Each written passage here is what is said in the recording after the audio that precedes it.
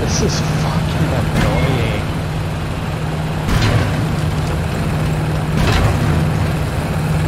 They, I, they really shouldn't have changed how tanks climb over rocks. That's that's where they made a mistake.